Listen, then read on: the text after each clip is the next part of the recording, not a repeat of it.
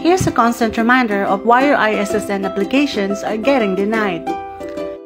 Initially, we are requiring a full scanned copy of your serial publication. Make sure that these key information are present in your submitted copy. Please also take note of the following.